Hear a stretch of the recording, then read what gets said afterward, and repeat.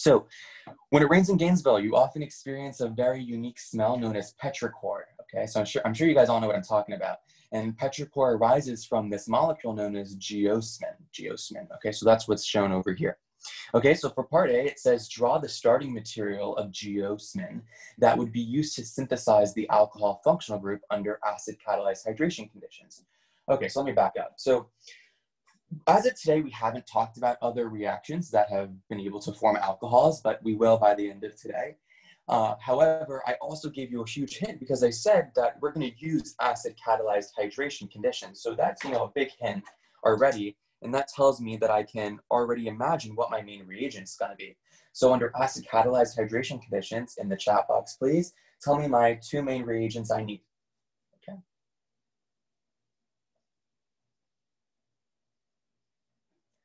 We have crickets. water and acid catalyst, water, yep and water and acid, water and acid. I love that. You guys got it. Okay, so Hal, not HX and water. Um, to double check that one. That would be halohydrin. Uh, acid and water, acid and water. Yep, love that. So we're thinking already water and acid. Okay. Well, what is this whole chapter about? This whole chapter, at least chapter six, has been alkenes. Okay, and you know we haven't talked more than alkenes yet. So um, we're probably going to deal with a starting material that is an alkene and then subjecting it to water and acid. Okay, so now look at the placement of the al I mean of the alcohol on this uh, on this uh, molecule geo geosmin, and we see that we have an alcohol at this kind of tertiary position. Okay, and we know we have to follow Markovnikov's rule, so I have to think about places that I can put this pi bond, maybe here, okay, or here, or here, that will give me the um, give me addition where the alcohol is on that more and more most substituted position. Okay, so the way that I can do that is I can draw a structure that maybe looks like this.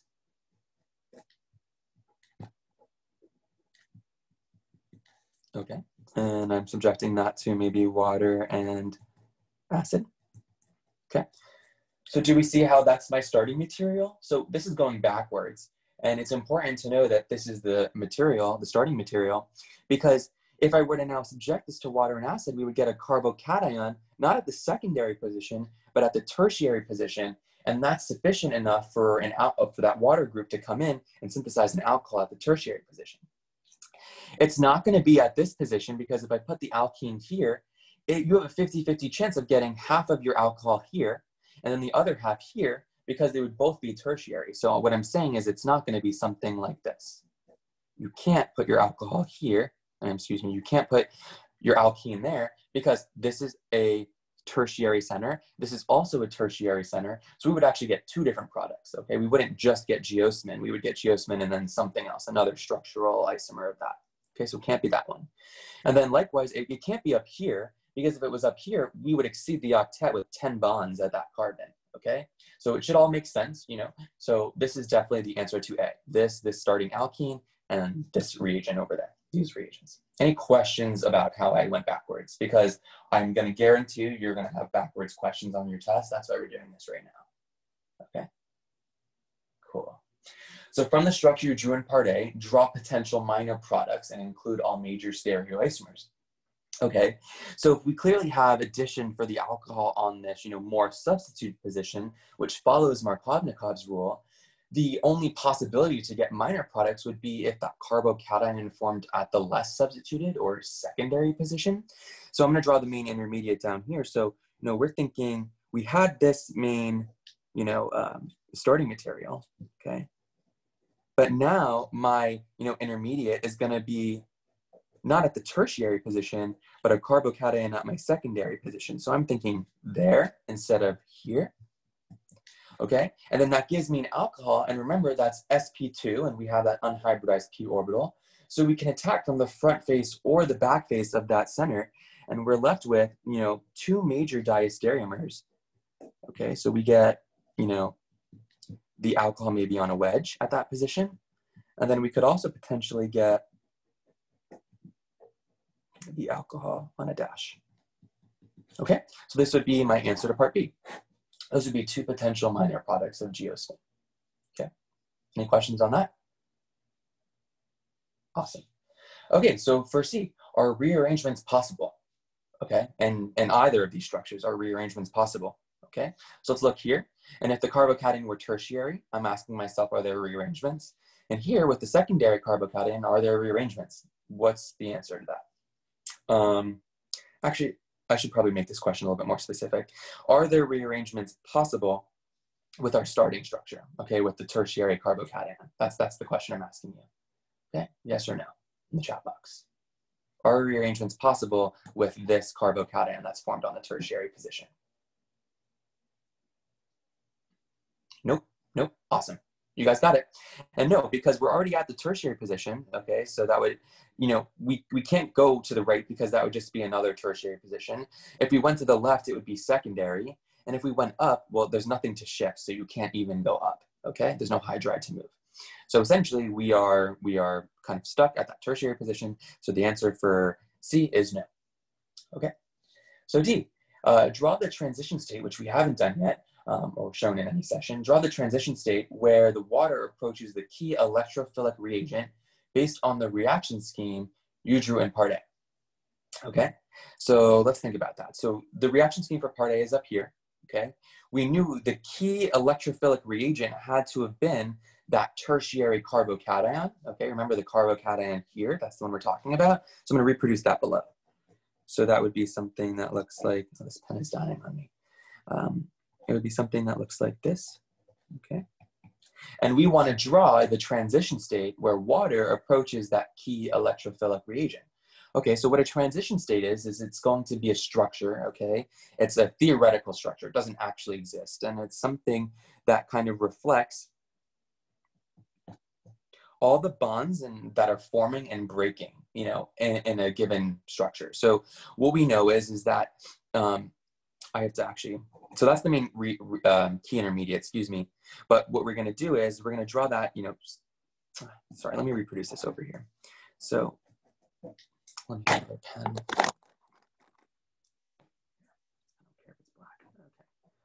So what we're showing is water is going to form a bond with one of its lone pairs to this, you know, carbocation. So what you would draw is that's a dashed line, okay?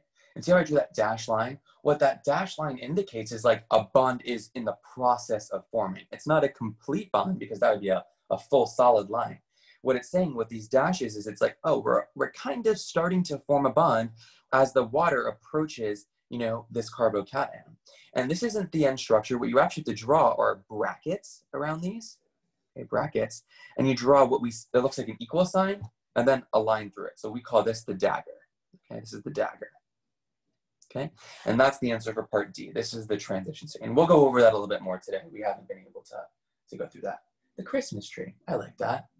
Yeah, that's cool. Or if you turn your head sideways, it looks like a fence. I don't know. Okay, so that's pretty much it for this question. So definitely um, a critical thinking question, um, a little bit more complicated than what we're used to, but I don't think it's totally out of the realm of possibilities for you to answer. Okay, so we are going to, I think I have some questions in here real quick. How um, would you rearrange if the new position gave it resonance? Good question. The new position gave it resonance. Yeah, you could do that. Um, if the new position does give you resonance, but that new position is still more stable, meaning like, let's think like if we're shifting from a primary position to a tertiary with resonance, 100%. Um, if we're going from a primary to maybe a secondary with, uh, with resonance, something like that, you have to know your HIAs a little bit more just to make sure that that transition is sufficient in terms of um, um, um, rearranging, that the, that the driving force is there. Okay, so we're gonna jump into reaction practice. And um, we left off on uh, halohydrin synthesis, so I am going to just do a couple more examples of that, and then we're going to do the rest of chapter six, and then briefly introduce chapter seven, because we have to do all of chapter seven on Wednesday. Okay, so we are at this structure. So we are on page 65 of the student workbook, and I'm on 11V with you guys. Okay, so what we have is this aldehyde with a, you know, um, tri-substituted alkene, and we're subjecting it to hydrober, uh, excuse me, not hydroboration. I'm getting ahead of myself. We're subjecting it to halohydrin um, conditions. Okay, so remember what we talked about with a halohydrin. Halohydrins are basically structures, it's a functional group, where the halogen and the hydrate are one carbon removed. So we'll get a halogen somewhere and we'll get a hydrogen somewhere else and we'll put those together and that's a halohydrin. Okay, so what do I do? Well, we said that this was a concerted, oh, oh for me it's Br2, my bad. So it must be Cl2, doesn't matter, but Cl2. And essentially this is going to be a concerted mechanism just like we saw with the bromination or chlorination reactions. And remember what it is, is we have chlorine over here, diatomic chlorine. This is page 65, Emily um, 65 letter V. Okay, so what's happening is, is we're going to have a concerted mechanism where our nucleophilic pi bond is going to grab, you know, maybe this chlorine that causes this chlorine to come off as chloride because, you know, we exceed the octet at that position.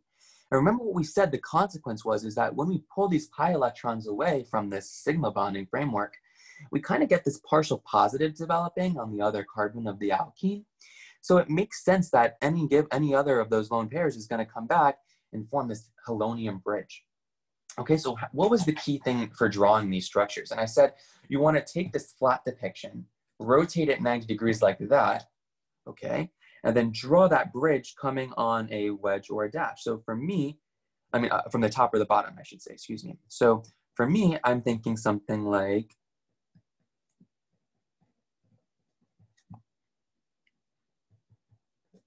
okay, the halonium bridge forming up top.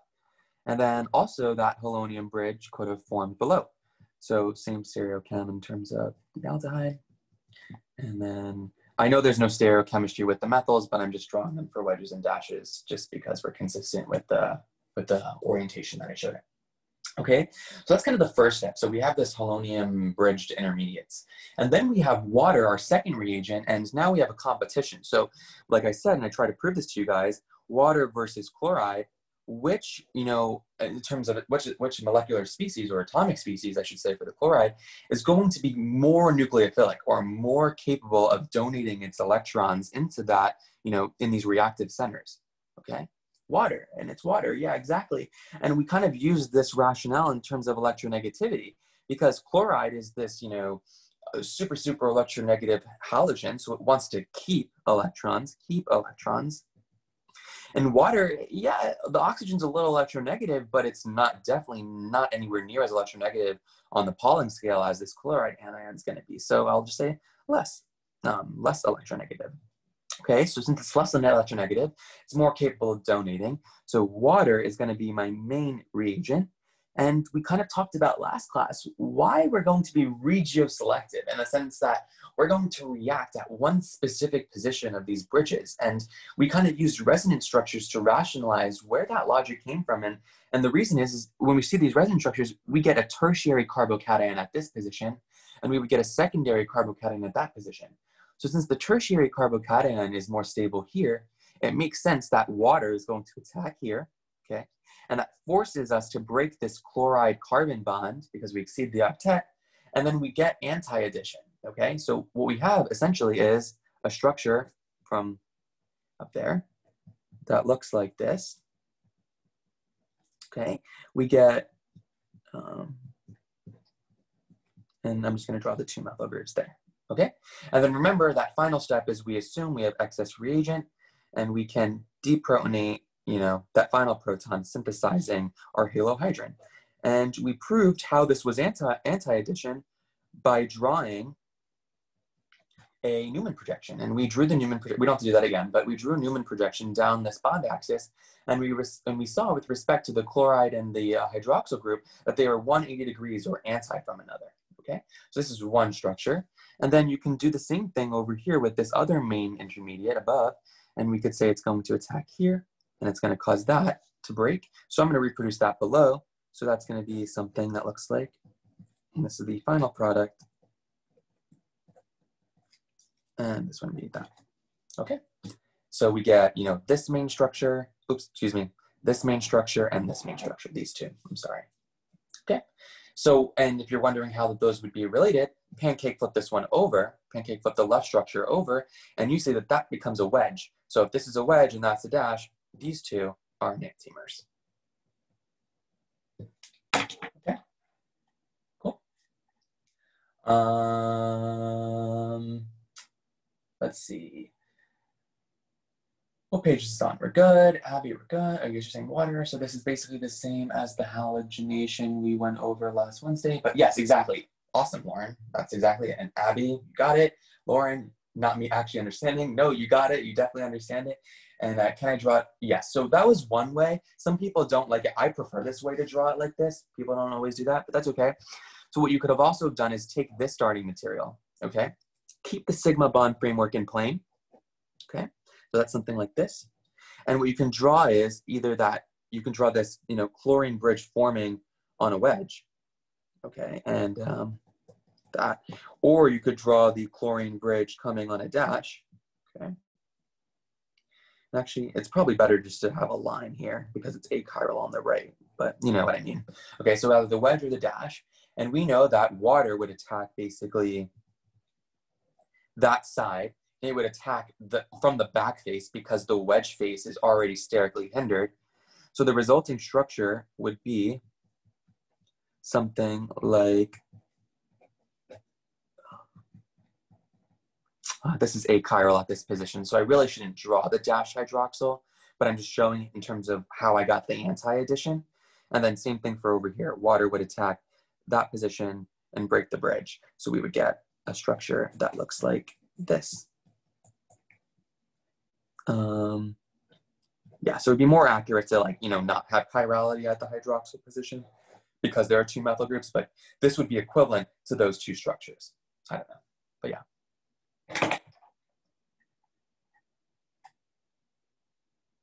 Um, not necessarily true. I mean, like, it's possible, um, but either or. You could you could also have answer choices that look like this. So be prepared to do both routes because if you guys aren't comfortable with the rotations, this might trip you up because this is actually a valid structure. Um, okay, up to you guys.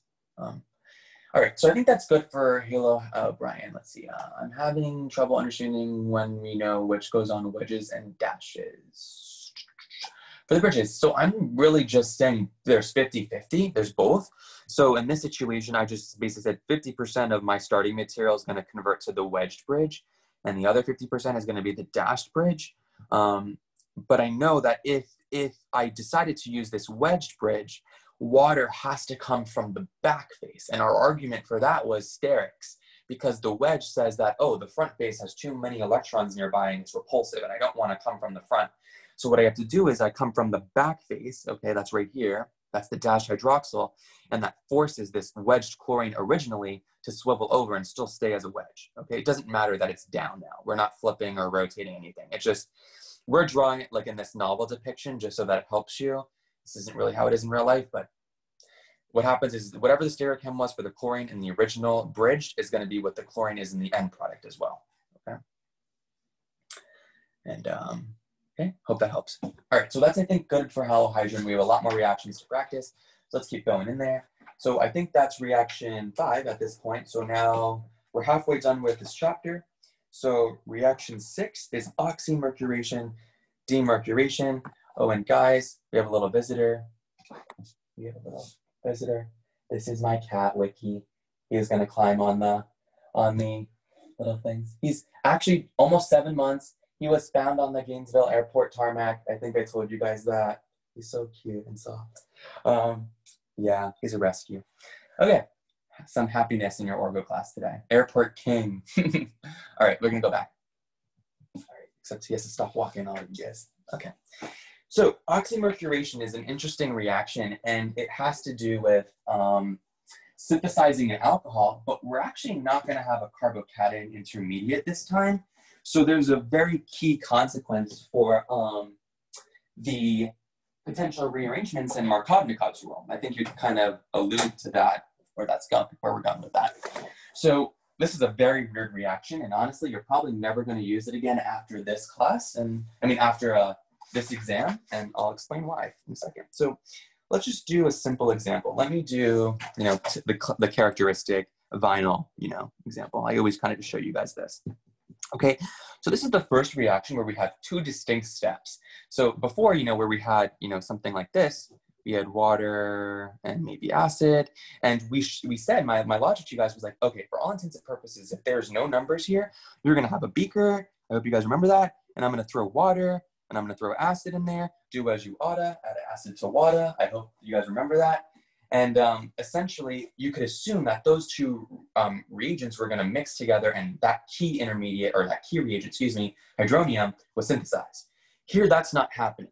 What we have is, in reaction in line one, we're subjecting it to specifically this, this thing called mercuric acetate, okay? So this weird structure.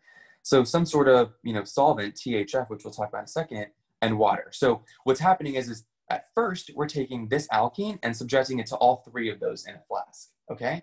Then forming some product. Then getting rid of everything from step one and throwing that product into everything from step two, okay? And that's just one thing, okay? So sodium borohydride. Okay, so pretty much that is my main reaction scheme. So I know the reagents look weird, okay, but every single one of these is gonna make sense by the end of my discussion with you guys, so it won't be memorization. You guys will understand why everything's there. Okay, so our key and our key reagent here, okay, this is, let me just write oxymercuration. So oxymercuration, okay, demercuration. Okay? And that name is going to make a lot of sense in a second. Okay. So oxymercuration. So we're adding this oxymercury group. Okay. And then demercuration. So we think removing that mercury group. Okay. So you can kind of imagine what this reaction is going to progress through. Okay. So essentially what's going to happen is let's just draw the structure of mercuric acetate, which is this HG, OAC. Okay, so that's really all you need to know. It's this mercury with two, and AC is just acetyl group. So these are basically two esters. So for all intents and purposes, what it is, is it's that, um, if you guys care. Okay, so that's really the structure, but you don't need to ever draw this. Okay, keep it as that, okay, mercuric acetate. And this is another one of those cyclic um, concerted mechanisms, okay, where we're gonna have three arrows in our, you know, first step. So I know that this nucleophilic pi bond is going to, you know, maybe grab a mercury, okay, causing this acetate to break, and then, you know, we can come back and form that bridge, okay? Excuse me. So this is going to be something, a new intermediate that we haven't had. So it's not the halonium bridged intermediate anymore. What this is, is it's going to be the cyclic mercuric acetate intermediate. Okay, so we're gonna draw that right here. So the cyclic I know these names are really crazy. Cyclic mercuric acetate intermediate. Okay. I'm kind of confused on the difference. Let me see the rest of that question between when you get an ether or an alcohol with these. Um, we'll prove it in a second when I finish the reaction, okay? So um, essentially we have this cyclic mercuric acetate intermediate, and what that looks like, again, remember, I'm just taking this vinyl group flat and rotating it 90 degrees like that. So essentially, I think that all makes sense to you guys. And then the, that's one intermediate. And the other one,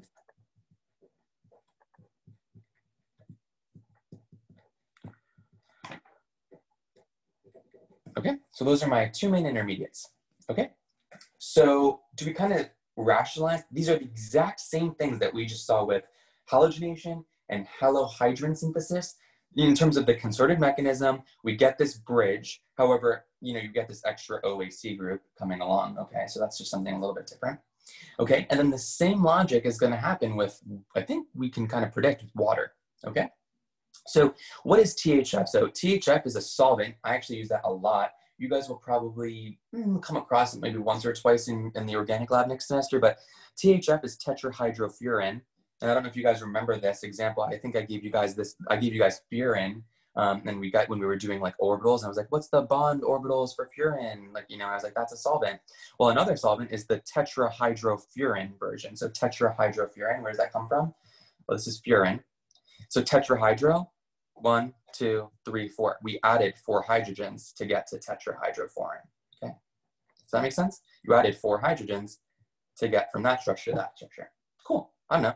So THF, again, is an inert solvent. So for all intents and purposes, you can cross it out and ignore it. Okay, so it's another one of those like DCMs or, or chloroforms that we're seeing. Okay, so for all intents and purposes, ignore THF. Okay, just proving furan to tetrahydrofuran. kind of helps. I don't know. Anyway, so then the next step uh, from step one, at least, is, is this water molecule. So the exact same chemical logic that we saw before is gonna happen here. So water is going to come in, attack the more substituted positions for reasons we've already discussed, and then we're gonna break that bridge because we exceed the octet. So essentially we get, again, anti-addition, and I'm skipping that deprotonation step. I think you guys can see how this final water proton gets removed. Again, we assume excess reagent, the water will come in. We've seen that a million times already. So with respect to, you know, the mercuric acetate substituent, we see anti-addition with that water, okay? And then again, same thing can happen over here and break that open. So another example of this would be here, that and HGOAC. So over here are my two main products from step one. Okay, I know this is kind of all over the place, but let's kind of like digest this all again. Okay, so this is the first time where we have two distinct steps. Okay, so step one, this reaction line, is the oxymercuration step. So this is the time that we're going to add an oxymercury group. Okay, so we, we found out what this oxymercury group is. It followed the exact same concerted mechanism that you know halogenation has seen, how halohydrogen synthesis has seen. And we get these bridged intermediates again. Okay, we know that THF is inert, so ignore it. But water, again, is that same reactive nucleophile that's going to attack at the more substituted positions for reasons we've talked about. Okay, so we get anti-addition and with these water and you know mercuric acetate substituents. Okay, that's the from the cyclic mercuric acetate intermediate to the main products from step one. This isn't the products of the reaction. Okay. So then after that, what we're going to do is subject it to this reagent called sodium borohydride. And down here, I'll draw that. So sodium borohydride is just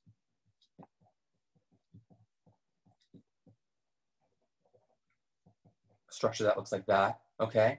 And for all intents and purposes, you'll, you'll touch on the mechanism in Orgo 2. Right now, you do not need to know the mechanism for sodium borohydride. It will come up in Orgo 2, but not now. So for all intents and purposes for your logic, for understanding, this is a source of hydrogen. You can see all of these hydrogens. What we're gonna do is do the demercuration step, okay? So demercuration means remove this, okay? Well, if I'm gonna remove this, what am I gonna replace it with? One of these hydrogens. You kind of follow that logic? So we're not gonna show a mechanism. You're, you do not need to know it. It's not even covered. So what's gonna happen is you're gonna take all the structures that you have from step one and you can just replace the hydrogen. That's the demercuration step. So that's that one and pretty simple. Okay, and hydrogen. Okay, so I don't need to really draw these hydrogens. Okay, but you can see that we have these alcohols. Okay, and I can you know re-rotate this, you know, rotate these around, and essentially you get a water here, and then water here. it doesn't matter about the chirality because you have two methyl groups anyway, but essentially you get those final two products. And you, you even, you could have drawn those two and that's also fine. Okay, so let's kind of go back to that starting material and talk about what we formed. So look at this reaction, okay?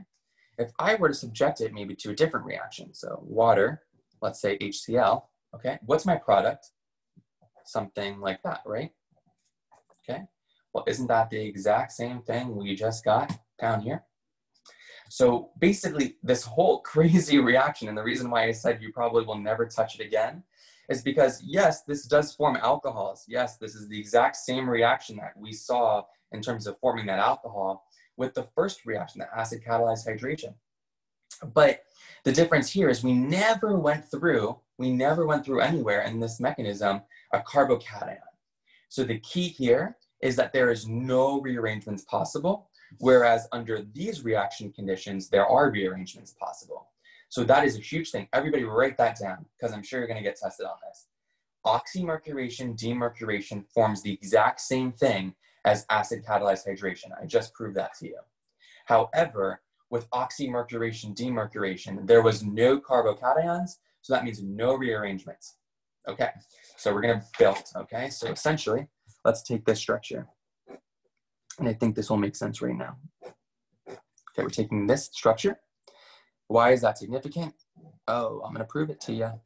Okay, and we're gonna do this. I love the questions. It means you guys wanna know it and understand it. So I appreciate it. OAC2. THF and water. Step two, NaBH4. Okay, both are gonna form alcohols, but this is a situation where it matters, okay? So before it didn't matter, now it does. Okay, so in your head, let's go through this line. Okay, let's go through the acid catalyzed hydration conditions. Okay, so clearly we're gonna have a choice between the primary or the secondary position.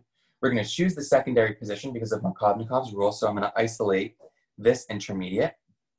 Do I see a rearrangement possible? Yes, you guys should all be saying yes. So that would be this hydride moving over one position to form the tertiary carbocation. Then, you know, water just comes in and attacks. So you synthesize an alcohol on that tertiary position. This would be the only product I need to draw on the test because that center is achiral. All right, let's do the exact same thing following this reaction scheme up to my left. Okay, so we know we're gonna form this cyclic mercuric acetate bridge. So let me draw that over here. This is the main intermediate. And let me just, you know, there's also the other version of this. So the other enantiomer. Um, positive. So this is the difference between the intermediate line. So let me just maybe box this and call this the intermediate line. And we knew that THF didn't do anything, but we knew that water was going to come in and attack at the more substituted position. So, you know, for all intents and purposes, I'm just gonna show water attacking here and breaking that bridge. So, you know, quickly, we saw that HGOAC would swivel over. Um, we saw that water would come in Okay, and I, I did the subsequent, you know, deprotonation step already, but we're all intents and purposes there for step one. And then step two, what it's gonna do is it's gonna remove that hydride, okay? So, I mean, that mercury group, that's the demercuration part. So you can just put a proton, okay? Or erase it because it's CH3. So now, and we also get, this is racemic, don't forget there was the other major enantiomer, but now these are my products, okay, products. So before, you saw that we got the exact same things, okay? So here, oh, excuse me, for here, it didn't matter because we all there were no rearrangements possible anyway. So this didn't show any difference in terms of, in terms of products. We got the same secondary, you know, region going on here. However, in this situation where we clearly had a carbocation rearrangement, that we had vastly different products in terms of structural isomers um, because of the intermediates that we go through. Okay, so that's like the biggest takeaway from this reaction is like you can form pretty much the same thing most of the time with acid catalyzed hydration.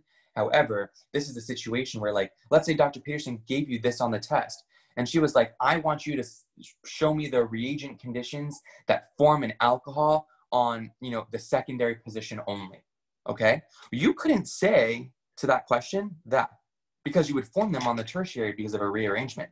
So the correct answer would have to be the oxymercuration conditions. Yada, yada, yada. Okay, so everybody follow that logic. I know that was kind of a long explanation, but I hope that kind of makes some sense. Okay, let me check the chat box for some questions. I'm out of breath. Let's see. I'm kind of confused on the difference between you getting ether and alcohol. I mean, Nick, I hope that you kind of understand that a little bit more. There's no ether here ever. Um, for this example, could you have a methyl on a wedge and the hydroxyl on a dash, or does the hydrogen need to be on a dash with the methyl on a wedge? Wait, Brian, one more time, I'm read that. For the example, could you have the methyl on a wedge? Um, the question for the last, oh God, where was that? Um,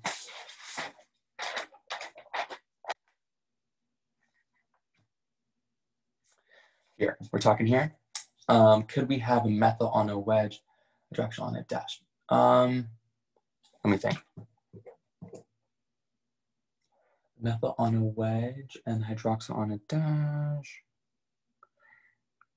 Um, sure, that works. Yeah, you can do that. I like that. That works, Brian. And Abby, I hope that makes more sense. Does everybody should be asking the question Abby's asking? Why is this significant? Do you guys all follow that? This is why it's significant. One rearranges, one can't. Okay. Hope we're good. Let's keep moving. We got so much to cover. So that's one reaction condition. Let's do a couple of examples, just break the products really quickly. Okay, so we are now on page 66. We are going to do 11, um, uh, let's just do 11Z, okay, real quick. So 11Z on page 66, we have, you know, this structure with, looks like a torpedo group we're subjecting it to the conditions that we've seen already.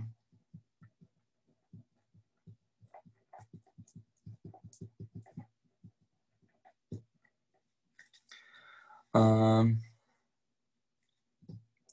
darn, I really just thought about, I really want to move up with, to Orgo 2 with you guys. I'm like really sad about it because this is like, I'm, I'm going to be a spring senior and like, I really want to finish with Orgo 2. Like I haven't taught that in a while and you guys are a good, good, good group, good group of students. So maybe, I don't know, maybe I'll reach out to Brenner. Let's see. Potentially I'll reach out to Brenner, just saying. And, but I don't want to switch sides because I love Dr. Peterson. I don't know, I'm conflicted. We'll see. Okay, so essentially, uh, you guys are funny. So essentially, we're gonna take the same reagent and we know we're forming alcohols for all intents and purposes on the more substituted position, okay? So we're forming an alcohol on the more substituted position. However, there are no rearrangements possible. Okay, so that's all you really need to know. So essentially, out of the secondary or the tertiary position, which one's more substituted? Clearly the tertiary. So you can just basically go right to the products where an alcohol forms at the tertiary position. So you get two main geometric isomers here. So you get this one. And you also get, and this is how fast you guys should be on the test. You don't have enough time to like draw the mechanism out for everything. So that's why I'm saying like you guys should know, okay, this is gonna do the same exact thing as acid catalyzed hydration conditions. However, I know I'm not gonna rearrange at all. But luckily, this is a situation where we didn't have to rearrange anyway because we already had a secondary or a tertiary. So it didn't matter. Okay? So I hope everybody got there.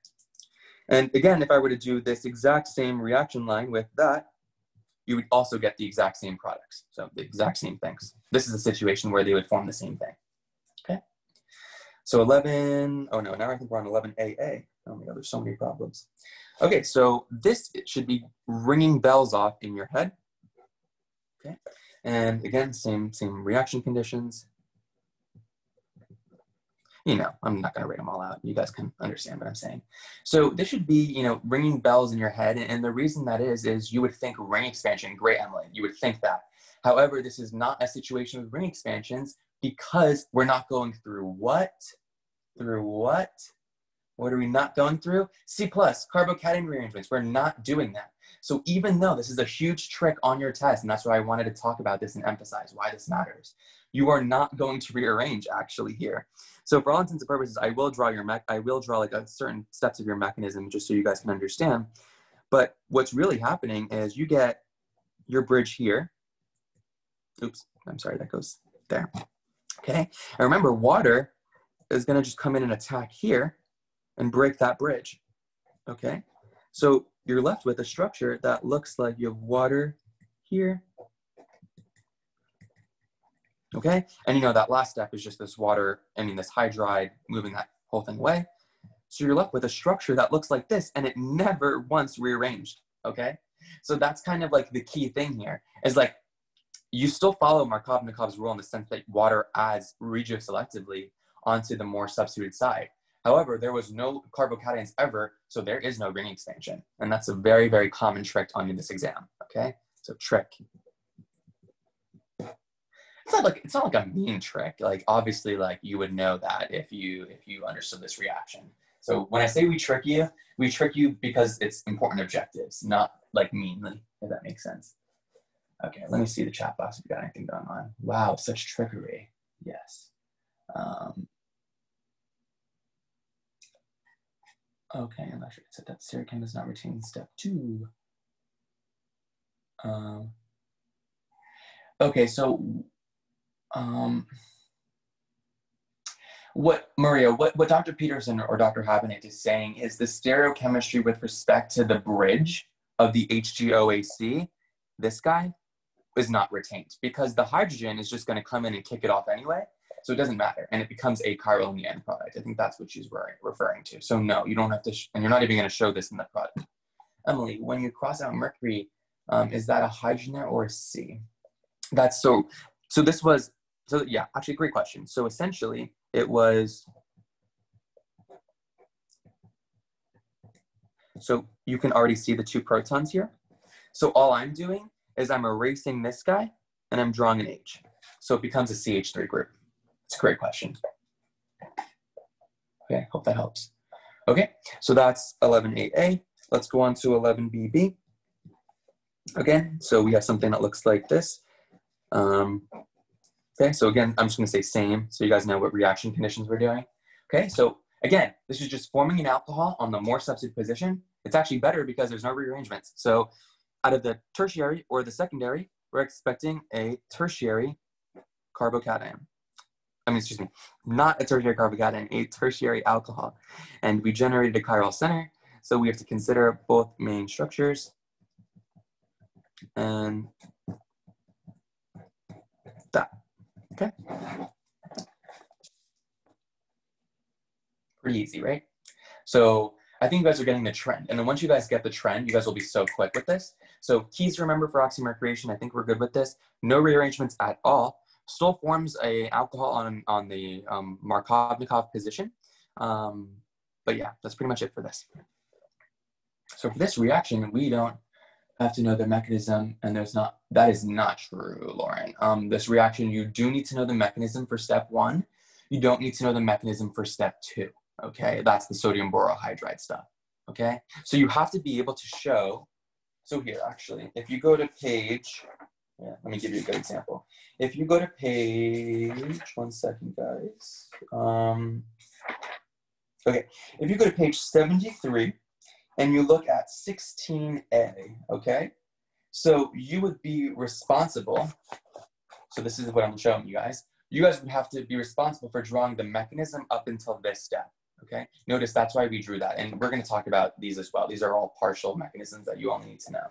But for all intents and purposes right now, you only need to know how to draw the mechanism for step one. Okay, and that's proof right there. Okay, we're gonna move on because it's already somehow 1245 and we have a lot more reactions to cover. Um, okay, so we are gonna move on to hydroboration conditions, okay? So hydroboration, so we're gonna do hydro Boration. I'm telling you, the last three are relatively easy compared to these. Hydroboration, oxidation. Okay, so these names are crazy complicated, but don't worry about them. Okay, so let's take that same vinyl thing that I've kind of been subjecting everything to. And the reaction here is going to be something called borane. Okay, so BH3 is borane. And we have THF again, and we know THF is just inert, so we can ignore it. And then for step two, we have sodium hydroxide.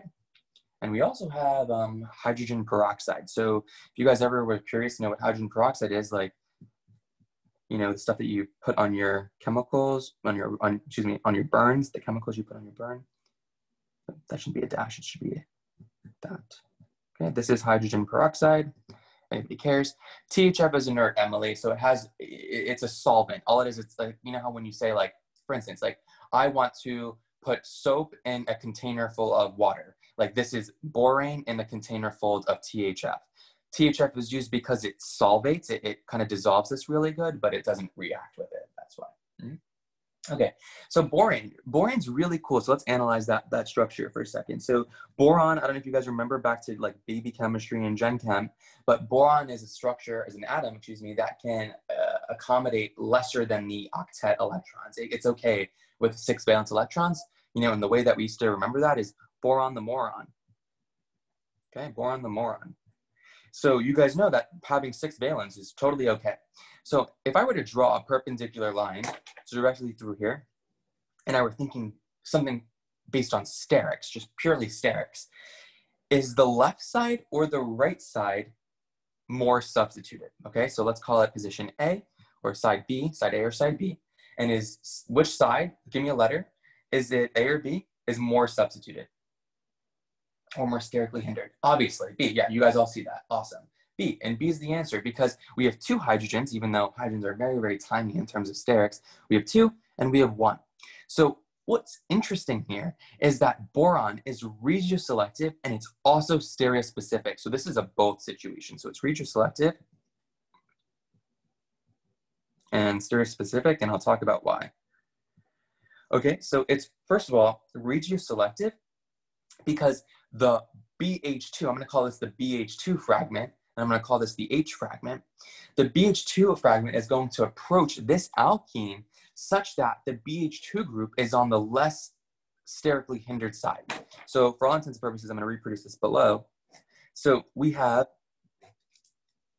BHH over here, and we have H over here. So I kind of drew it exaggerated, but essentially this is, we can think of as too bulky for it to come near this side. So it makes sense that it wants to be on the farther away, less sterically hindered side. Okay? Everybody kind of clear on that stuff? So essentially what's going to happen is, is the, remember, boron is, is only six valence, okay? And there's a reason why I said that. So what's happening is, is that this nucleophilic pi bond can attack that deficient atom, okay? There are no lone pairs on here, okay? So, you know, what's going to happen is, is it's the bonded electrons from this boron, the hydrogen, that are going to completely break and form a bond there, okay? So does everybody follow that? Before, it was a little bit different with the halonium bridges. We had some lone pairs, all other extra lone pairs that could come back and kind of fix that deficiency. But that's not what we see here. We don't have, remember, boron the moron, we don't have a lot of electrons on boron to give, so we have to use the bonded electrons. Okay, something very important happens here, and I didn't really know this until I actually became a TA, so I didn't even cache it when I was in Orgo 1. But it's this. And I know I don't need to draw the stereochem, but I'm gonna draw it. So this is the products from step one. And the reason why I drew them on a dash or on a wedge is this is the first situation that I'm encountering something called syn addition, okay? So we've seen anti-addition, so anti means opposite faces, okay? But this is the first time where we see syn addition, or the same face, okay? And don't be, don't be frazzled. It should make sense why we're seeing syn addition. The reason we see syn addition is because before all of those reagents were two separate things. Like, like here we had like mercuric acetate come in and then we had another reagent, water, come in later and attack. And that water was limited to this, um, the sterics that were you know, present in this intermediate. But now over here, like we're not having a second, you know, molecule come in to be that nucleophile. It's all one molecule. So since it's one molecule and it's so close, like we're talking matters of angstroms. Angstroms are 10 to the negative 10th of a meter. Like you know how tiny that is? So this is so close for so for all intents and purposes, they're gonna add, if the BH2 group is gonna add on the back face, so is that hydrogen. And the BH2 group, if that's gonna add on a wedge, so is that hydrogen because they're so tiny and they're so close together. Like we're not going to have the chance for something to even approach on another side. Okay, so that's why we get syn addition here. Okay, so that's it for step one. And in step two, again, we don't know the mechanism, but we should understand what you know sodium hydroxide is doing. And in this sense, sodium hydroxide is not going to be a base; it's going to be a nucleophile. So that hydroxide. So basically, we just have hydroxide. Okay, and hydroxide, and you don't need to know this mechanism, but hydroxide is just going to kick this BH2 group off. Okay, so essentially you synthesize, it's just the hydrogen. And same thing over here, I'm gonna draw this up, is you get the alcohol where that BH2 group was, okay? So for the products of, you know, this main reaction scheme, we got something that looks like this. Oh, I'm sorry, I drew this wrong. It's at the end of this. My bad, I dropped a carbon down here. So see, it was this carbon and then the BH2. So it was this carbon and then the BH2. So my bad, I dropped a carbon there. But yeah, so this was the structure. And then for all intents and purposes, I'll reproduce that up here. And you can see, what, what type of addition did I get? Did I follow Markovnikov's rule? No, I was anti-Markovnikov. I got the alcohol on the less substitute position, on the primary position. So this reaction has a couple of key points. And now I know I showed, I showed a lot of information your way, um, but let's just kind of talk about this again. This is another way, yet again, of forming alcohol. So we have three main ways. We have acid catalyzed hydration. We have oxymercuration, demercuration. And now we finally have hydroboration oxidation. So those are all three ways to get alcohols from alkenes, okay? So that's the big picture. We have three ways to make alcohols from alkenes. Um, but the difference, though, between each one of those is acid catalyzed hydration, the first one, is going to follow Markovnikov's rule and is prone to rearrangements. The um, oxymercuration reaction is going to follow Markovnikov's rule, but not rearrange. And now this situation with hydroboration is going to be anti-Markovnikov, but also no rearrangements. Okay. So let's kind of make a summary chart. I think that's kind of, that's definitely worth taking the time to go through. So we have acid catalyzed I'm gonna call it OxD, just so you guys know, ox D Merc. And this is hydro bore, you know, just so you guys know. Okay, this is definitely an important chart. So these all form alcohols. That's the big takeaway. However, this is going to be Markovnikov's rule. Um, I'm going to put a C plus for rearrangements. This is going to be Markovnikov's rule again, but now no carbocation rearrangements. And this one is going to be anti-Markovnikov, okay? Again, no carbocation rearrangements. So let's take, just for the all in purposes, um, you know, maybe let's take um, here let's take this structure. Okay, so we're gonna just draw the products underneath this all these lines for that starting material. Okay, so under acid catalyzed hydration conditions, I would expect the alcohol here. Under oxydemercuration conditions, I expect the alcohol here, and I'm to draw a star to indicate chirality. And then under hydroboration conditions, I would expect the alcohol to form on the less sterically hindered position. Okay, so you can see I get three different structural analogs of the alcohols based on the reaction conditions I use. And that's kind of the whole point of organic chemists and what they do is like we're going to try and just find different reagents that produce different types of molecules. And that's how drugs are made, you know. Um, okay, so anybody care about any of this? Let's see. Why does the BH200 uh, less substituted? Um, because there's more space. That's fine. At least love that. Um, Lauren, that makes sense because then if we have to go backwards to form hydroxide, then we can go to the location that I determine the reaction use. Exactly. So everybody listen to Lauren. Okay, so important. So, so, so important. You are going to get backwards questions, 100%. Like, so know this inside and out because Dr. Peterson might say like, you know, uh, like this is you know our end product and i'm using hydroboration conditions so where do i put the out where do i put the pi bond you know, or here's my end product and I'm using acid catalyzed hydration conditions, you know, how can I draw that alkene or something like that? So 100%, um, Lauren, that was great. Yeah. Emily, I hope that helped. Awesome. Um, Lauren, why don't we don't, have, I love that. Um, Annalise, so we just need to replace the beach with OH, exactly. Yeah, okay, so we're good. Those are like probably the two hardest reactions in this chapter. Let's keep like breezing through these things. Um, let's just do a couple examples of hydroboration, we'll move on. I know I'm doing this on speed, but I'm hoping that you guys aren't first like learning this for the first time. Okay, so I'm gonna just jump to um, page 67. This is 11 um, GG. Okay, so I have, um, this is interesting. Anybody uh, know polystyrene? So if anybody, you know, if you're in a Greek house or you guys, you know, have your to-go plates or things like that, um, you know, at least my fraternity, we always get like these like, like styrofoam takeaway things. And that's made out of polystyrene and this is the this is the monomer. This is styrene, if you guys care. Um, so that's the plastic that you guys are eating out of, if you guys care. And but that's not polystyrene. That's a different type of molecule. Okay, so we're going to subject this thing to hydroboration conditions. So BH3, so that's borane, tetrahydrofuran. Okay, the second thing is sodium hydroxide and H2O2. Remember, we don't care about the mechanism for step two. Okay, uh, but essentially, you can know that BH2 and the H are going to do syn addition. So this is worth writing out. So just because I think this is the second time we're doing this. So I'm just going to draw H and the BH2. And I know that in terms of stereochemistry, I'm not 100% accurate here with my structure, but just quickly, can you guys recognize that we get that, you know, syn addition, and we also get, you know, that one as well. Okay, so we're getting those two. And then we know hydrox sodium hydroxide is a source of that alcohol. So for all intents and purposes, it's just going to be that. So you basically can just predict the product and know to go straight to the less substituted alcohol. And it's achiral.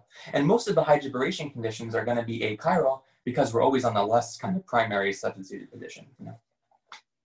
All right. So I think that's good for 11 GG. Okay. So let me do this for you guys. This is going to be a very important question. Wink, wink. So I think, um, yeah, let's do this for you guys because I really care about all of you. Um,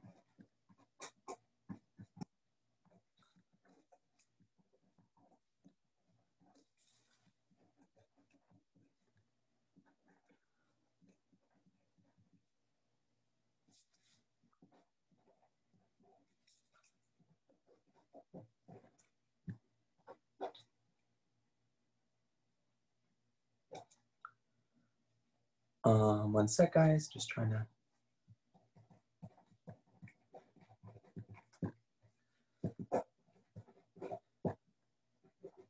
I just made this up. This isn't in the workbook, but. Okay. So roadmaps, okay? I like I think we like roadmap roadmaps. So A, B, C, and D, what are the reagents necessary to complete the chemical transformations? So clearly, from here to there, you're adding an alcohol, but it's on the less substituted position. There's only one reaction I know that adds an alcohol in the less substituted position. This would be the BH3 guy. Great.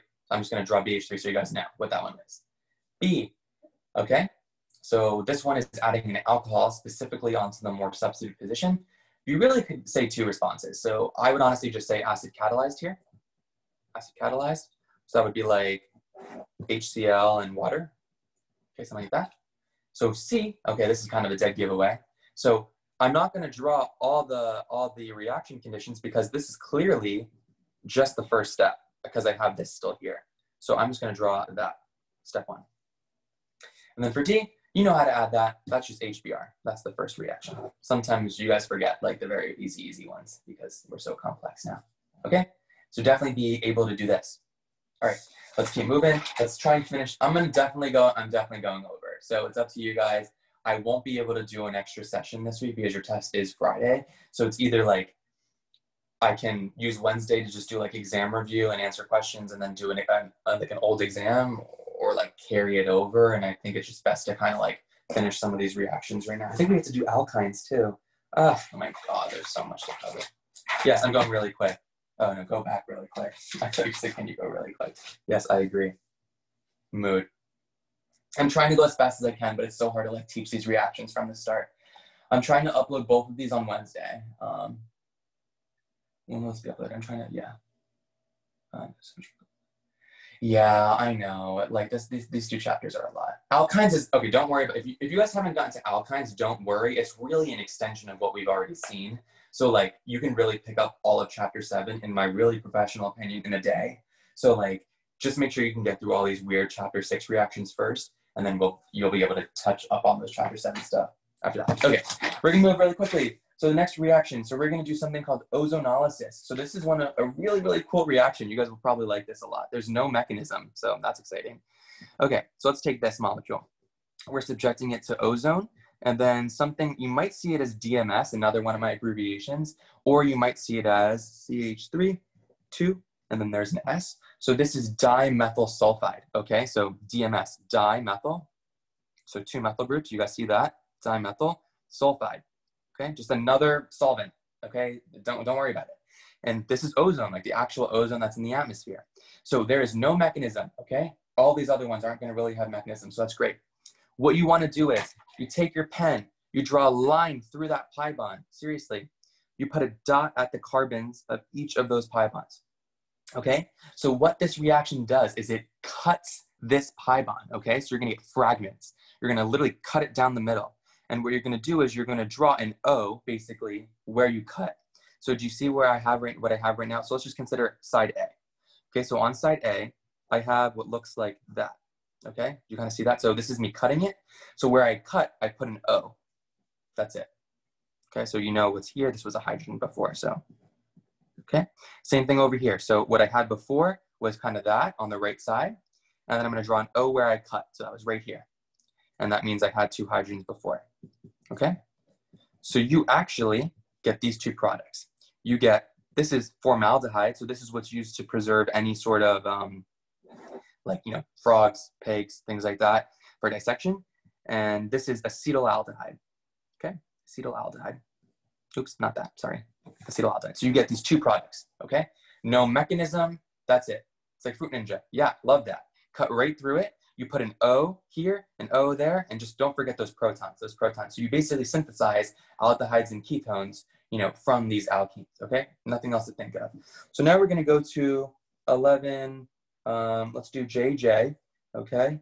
Um, JJ is like the bar. um, let's see. Um, okay, so we're here, and we're gonna subject them to ozonolysis conditions, so DMS. Okay, so again, cut, Okay, so really easy. Draw everything else the same. So I think this is so easy, like really. So I cut here. So that means I just put double bonded up, done. Don't even have to rotate. You can leave it like that. And then the next one, let's draw the other fragment. So the fragment on this side was, okay, so I cut there. So done. Literally, so easy. No mechanism, no key intermediate points. This is like one of your easiest reactions, okay? Just cut where that pi bond is. It's not gonna cut these pi bonds. It doesn't touch carbonyls. It only touches carbon-carbon double bonds, okay? It's 11JJ. Let's do this example because people kind of don't really like this. So um, the rings. So this is actually a situation where we can open up rings. So what we have is, you know, um, that, okay? So I'm gonna actually number the situation because it's important. So one, two, remember always go clockwise or counterclockwise, just be consistent. So we have eight carbons, right? So I'm gonna cut, okay? So I'm gonna draw an eight carbon chain. One, two, three, four, five, six, seven, eight, okay? This is my eighth carbon. Okay, so what you can draw is, let me just actually number this. So this is one, two, three, four, five, six, seven, eight. So the reason why I knew that this is, so you can do this one of two ways. So you can actually, sometimes Dr. Peterson draws it like this. Um,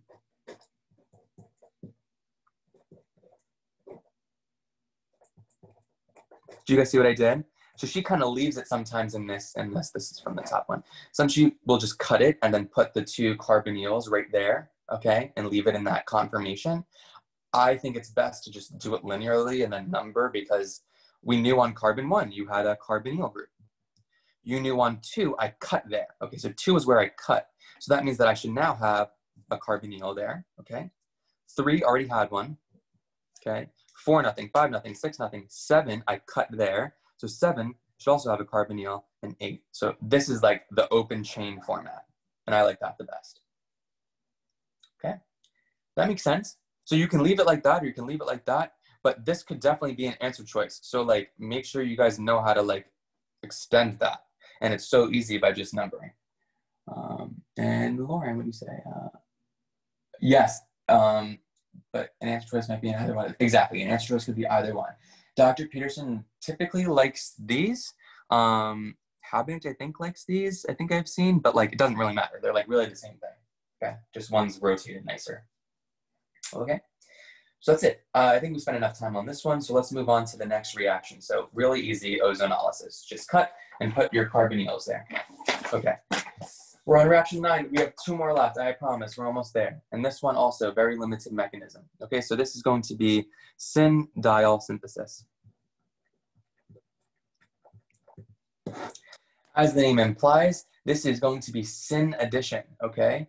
So syn addition is going to be, you know, the same face again. So what do we have? So let me take this, you know, same vinyl. My, all my pens are dying um, because I write so much with you guys. So we have this, and we're subjecting it to this thing, osmium tetroxide. So osmium is one of those um, um, heavy earth metals, um, H2O and H2O2. Okay, so what we have here is we have osmium tetroxide, water, and we have hydrogen peroxide. And we'll go through the purpose of all of those in a second. So the Lewis structure, this is another situation. Like I said, you need to know the structure for nitro groups, like which was you know, the Lewis structure was that, that was important. You also need to know the Lewis structure for osmium tetroxide. So osmium tetroxide is this, you know, center um, coordinate metal in the middle, osmium, and you have four carbonyls. Okay. Um, uh, let's see. So we have this, that. Okay. So we're here. Um, one sec. um yeah the, the, thanks lauren honestly these um office for me like this is just i'm not even looking at anything this is just coming from my brain it's like second nature to me so i um yeah no i like i really like helping you guys out like i'm not even getting credit this semester i'm really just doing this for fun for you guys um yeah. Also yeah my boyfriend has a lot of um, friends in this class so i was like i'm gonna ta it while all of his friends are in it at brian at emily at hal so yeah Anyway, so essentially we have this nucleophilic pi bond. and this is gonna be another concerted mechanism. So that pi bond is basically gonna just follow this. So this pi bond is going, and this is weird. I honestly never understood why the electrons moved in this fashion, but we're just gonna accept it. You know, this is the one thing where I'll just say, just accept it. So this pi bond, gonna grab that oxygen, right? Okay, and then that carbonyl with those with those pi bonds in there is going. One of those pi electrons is gonna rotate to this osmium. Don't ask, I really don't know. And then what happens is because I'm pushing these. Well, actually, I can do a little bit of logic here. So this pi bond hitting here exceeds the octet, so it forces one of these bonds to break. And then you just, since it's a, since it's one of these rare earth metals, it has all these d orbitals that you can you know throw extra electrons into. So then this this pi bond will break, okay, and put lone pairs onto that osmium. And then this now exceeds the octet here, so that this swivels out and then grabs the other end of the pi bond. Okay, really weird. Okay, and I don't really have the best logic for you, but this pi bond is going to form a bond to the oxygen here, single bond, this bond breaks, you get lone pairs on the osmium, and then that forces one of these bonds to come out and form a bond to the other carbon of the pi bond. Okay, so essentially the resulting structure is going to be something that looks like this. Okay, and I'm to draw, know, just um, to be accurate, let me just do it like this. Yeah. Okay, so we have that intermediate. And then you could have also said that it approached on the back base. And again, you know, I'm just trying to be accurate with my stereochemistry. I'll try to be better with you guys. And there, okay? That is all you need to know in terms of mechanism. This is it, okay? So what does water do? Well, have you guys heard of hydrolysis before? Hydrolysis is just a word that means to cut with water, like, like almost like fracking, but like it's just using water to cut things, okay? So all intents and purposes, your water yeah, you guys know hydrolysis. There you go. So what happens is, is water is just going to cut down this line. Cut. Okay? That's it. And it's going to give the protons from water is going to put OH. Okay? So essentially, you get OH, OH. Here, OH, OH. Okay, so you get these two enantiomers. And it's interesting, and it, it, we didn't really have any stereochemistry here, but you wouldn't because you didn't see it. But you could imagine that since again, the same argument that we just talked about, this is one molecule. It's not two. It's one molecule. So like whatever is going to add, you know, in terms of stereochemistry, like a wedge here, is also going to add a wedge here. So you know, if there was some sort of chirality thing to deal with here, they would both be wedges. They would both be dashes. You would both get wedges here and both get dashes here. So that's why it's called syn diol. Syn meaning the same face diol meaning two di alcohols, diol, two alcohols. Okay, so the last thing that you want to do is you are going to, well, what does hydrogen peroxide do? And for all intents and purposes, you're, you're ending after hydrolysis with this. And this does not matter whatsoever, but this is a byproduct after you cut with water. So what hydrogen peroxide does is it's going to oxidize these, you know, you can subtract just if you guys care. Hydrogen peroxide is going to hydrolyze this back to the main starting reagent. Okay, but that doesn't matter. You don't really need to know that. So that's the, really the purpose of hydrogen peroxide. It's not going to do anything for your main product. It's not going to really, you know, react in any sort of way. So all you need to really know is this concerted mechanism and the fact that we form syn, you know, diols, okay, two alcohols. All right, so let's do an example of that. So let's do 1100 Okay, so we have, I swear we're almost done. We have one more reaction after this, guys. Okay, so we have osmium tetroxide, we have H2O2, and we have water. So syndiol, really easy. So two alcohols on the same face of that pi bond. Okay, okay. Is this correct? If I did this on the test, would I get full points? And I'm sure you guys can understand what, based on the way I'm saying it. No, why? What's the word? It's a soup. There you go, meso. It's meso. We have a plane of symmetry. So if I were to pancake flip that one over, it's the exact same thing. So we would only draw one of these, okay? And write meso. Great, guys. You guys are awesome. Okay, so 11, let's do one more, 11 pp. So we have, okay, uh, it's pretty similar. So here we're gonna get two diastereomers because we have that ethyl kind of already locked on that, um, you know, um, ring. So same conditions, I'm just gonna draw that in a double, double dagger uh, for that. And essentially you can imagine that we would just get here, here, that one, and you would also get, you know, this is still a wedge, but you would get dash, dash. And only these. You're not going to get wedge, dash, dash, wedge. You're not going to get any of those. This is stereospecific, so you only get these two diastereomers. All right? Finally, the last question. Okay, so I hope that's enough for those two. So again, ozonolysis is really easy. So you just cut those pi bonds and you put those carbonyls. Osmium tetroxide, again, really easy, partial mechanism. You only need to know that you're putting two alcohols on the same face. And finally, we're at the last reaction, which is catalytic reduction. So you made it to reaction 10. Thank you. Thank God. so catalytic reduction, really easy, honestly. And this is gonna be a favorite going all the way throughout your time in Orgo 2. So H2, and we're gonna have an, a metal catalyst. So we have you heard that sigh, right? I know. I'm, I'm so uh, so basically, we have three different types of catalysts you could use. You could, and it's one or the other. You don't have to use all three. So platinum, or palladium, or nickel. Okay. And again, we don't need to know the mechanism for this. We don't know the mechanism for this. But essentially, what it does is it converts alkenes into alkanes. Really easy. Now, you wouldn't think that this is happening like in a, in a stereospecific way, but it is. So this is something you also want to write down in your notes. This is syn addition as well, okay? And it's syn addition because again, we have one little molecule, one little hydrogen, and if it's diatomic, let's just, and you don't need to know the mechanism, but let's just say that if this hydrogen were to add here, this hydrogen is definitely gonna add here on the same exact face, okay? So this is definitely syn addition, okay? So, you know, we can see right now we already have these protons present, so yeah, I'm gonna add in this final structure, we have, and I'll circle this for you. In the final structure, we added this extra one and we added this extra one. So we went from one at this position to two, and we went from two to three. So you can see how H2 was added across that pi bond to, you know, reduce that saturation. Now, I'm gonna probably tell you like something that I, I, I don't know if it's on the test, but I think has a very good probability of it. Look up unsaturated fatty acid hydrogenation. Okay, so unsaturated, I think this could be a good uh, application question. Unsaturated fatty acid hydrogenation. Okay, because you guys can imagine, you guys know what unsaturated fatty acids look like, hopefully. You know, back to maybe Gen Chem, like, or, or biochem, I don't know what you guys are in, but, you know, let's just say this is totally worth going into for a second. I know you guys probably think I'm wasting time, but I'm not.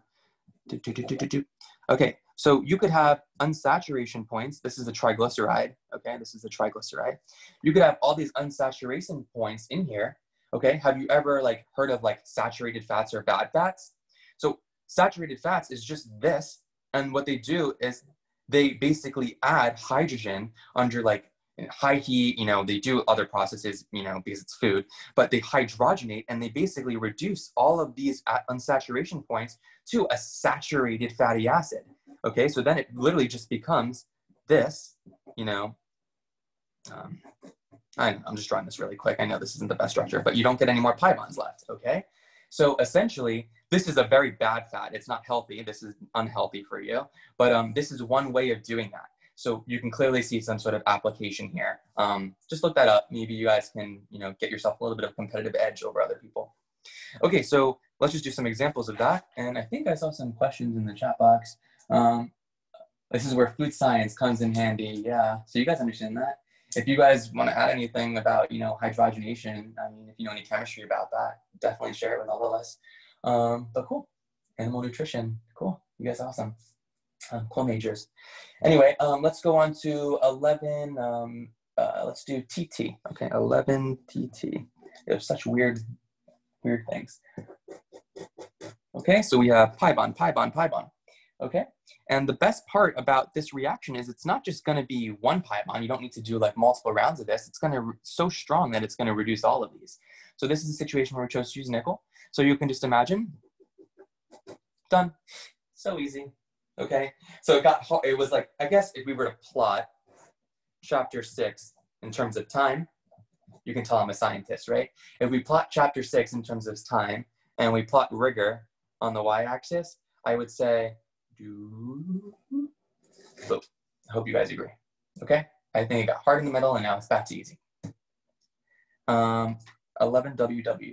Yes, okay, so 11WW, that's a great, actually, I think, thank you for bringing that up because that's kind of one of the main reasons why I brought up the stereochemistry stuff. Okay, so before it's been pretty easy, but there's one more caveat that I think you guys should should kind of look into. So again, this is syn addition, even though it doesn't look like syn addition. So this is gonna be a situation where the stereochemistry of your products matters. So if you're thinking that this is your only product, you're wrong, okay? This is not right just for the test. This is not right. So basically we said it was syn addition. So you can imagine if the hydrogen is gonna add on a dash, let's just say, and the hydrogen is gonna add on a dash here, you get one product that forces both of those methyl groups onto a wedge. So we get wedge, wedge. All right, so we get that structure. But you could have equally likely said that what happens if, you know, those hydrogens came on the wedge? That would force those existing methyl groups onto a dash. So you also get that and that. So those are your, I mean, can I see through rotations? It looks like those are to the two products. Yeah. So you get those two main products.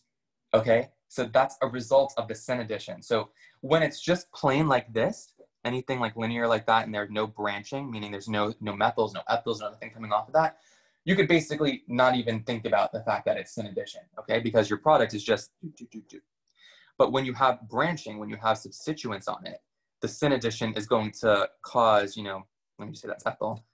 It's going to cause, you know, these groups to be puckered out of the plane. Okay, so it's like that. And that, my friends, is the end of chapter six. Um, I need a breath. okay, real quick, let me just see these chat boxes. What's going on in here? Um, can you move up to two too quickly? Yeah, TT's up there. Um, and will we be doing number 10 next time? I don't think we ever ended up going over it. What's number 10? Question 10? Yes. Um, okay, we're really over time. Okay. Um, let's see.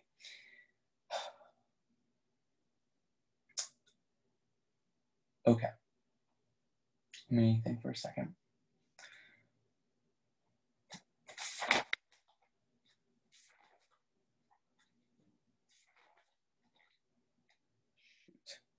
I'm nervous we're not going to get enough time on Wednesday. Okay, this is what you guys need to do for homework, or like in quotes, homework. Okay, you need to make sure you guys understand everything in the chapter six um, workbook, and in terms of the chapter six section um, understand all of those reactions coming into Wednesday, okay?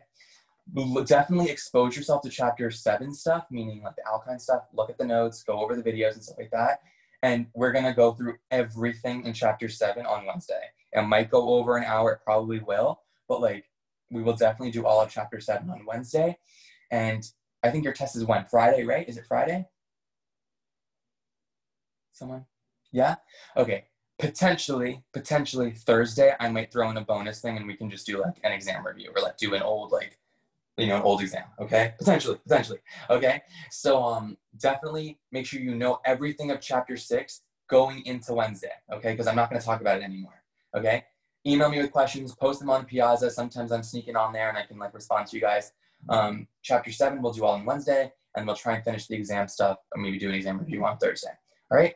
Um, have a great rest of your day, guys. You guys got this. Keep going. I'll see you guys soon.